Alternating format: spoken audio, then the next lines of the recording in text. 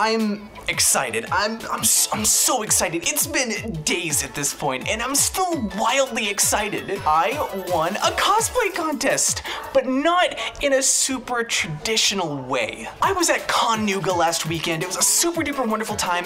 I'm making a whole separate video about that, but I want to talk about a really cool thing that happened while I was there. Me and a friend were walking around after I just eaten the best smothered burrito of my entire life, and I happened to notice the cosplay contest on the schedule. Now, I almost never enter cosplay contests. It's just something I don't do. A combination of lacking in time and confidence really has limited myself in that department. But ever since I started cosplaying TV heads, the response at conventions has been so, so wonderful. This time around, when I saw it, I said, I'm gonna do it. I'm gonna enter this cosplay contest. Now is the time, the beginning. So there founded me and my friend's realization that we were in the wrong building for prejudging, and prejudging began in 10 minutes. So in our panic jog to get to prejudging, my TV head knocking me absolutely senseless, I came to the realization of something super duper important. I was nervous beyond belief, dude. There was no way I was gonna win this thing. It wasn't a defeatist mentality, it was more of just a fact. I knew the convention environment and I knew the cosplayers I was up against. It just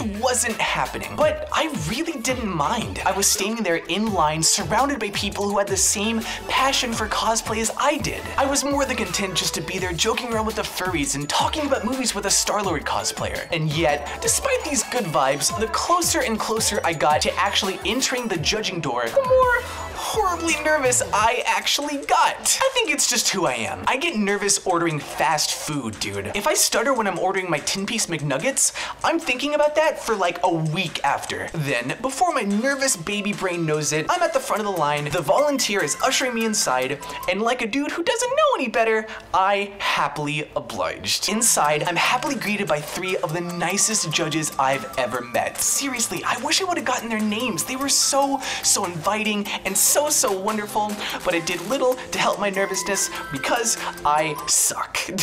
I danced around a little. I did the thing with a little screen speaker that I have. It was really, really fun, despite my idiot anxiety brain. And after a little, I took the TV head off to show them how I made it, which, by the way, I have a video on. I'm not sure which corner it'll be in. Pick one. And it was at this point they started asking me questions. and the first question was, what is your favorite part about your cosplay?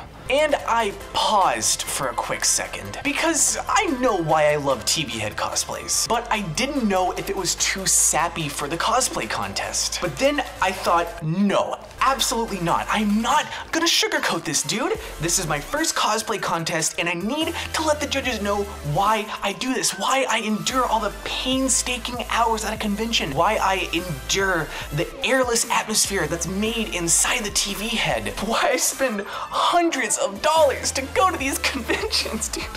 Oh, that one hurts. Verbatim, my response was, I love the chance to be something else.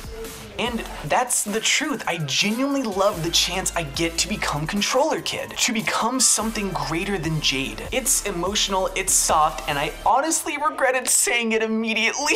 and I started to regret it even more when I realized they'd all fallen completely silent. And then to top it off, they didn't ask me a single other question. My heart literally dropped to my stomach. I thought I'd absolutely blown it. I was just too real, dude. The harsh browns that I was serving did not come with enough emotional ketchup. But what could I do?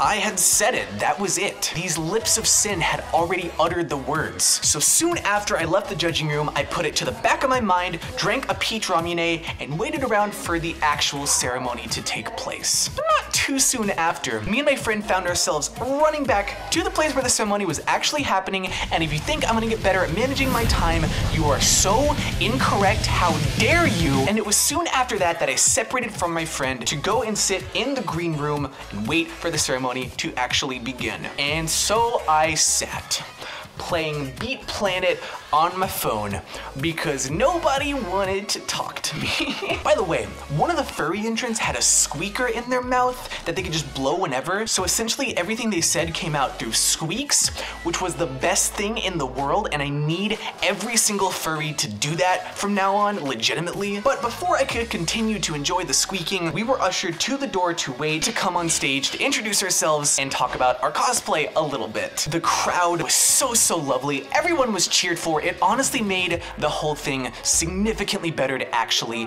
deal with, especially with my level of anxiety that was constantly rising throughout the whole shuffle up to the actual stage. And when I finally got to the mic to say my name, because it's me and the universe is just doing this to me, there was feedback. And I wanted to throw up. But I didn't, surprisingly. I ran across, did my little bow, did a little dance, and went off as quickly as I could, and it turned out okay. And so I went to the back to wait for the award ceremony. And they went by just as I expected. Everybody who won truly, genuinely deserved it. When I said earlier that there were some amazing cosplayers, I really meant it. I unfortunately didn't get to film any of it because I was doing cosplay, and to try and do a TV head cosplay and keep a camera working is almost impossible, but I promise you, they were fantastic. The furries with the squeaker won best original creation, well deserved and wonderful. I would have chosen the same thing. And I didn't win, which, once again, I expected. It didn't feel amazing, but hey, I was just glad that I had the experience. It was still wonderful overall, and I was so happy for everyone that actually did win. And I was already getting up to leave, but suddenly, the announcer, she's telling everyone to sit back down. And she's talking about a final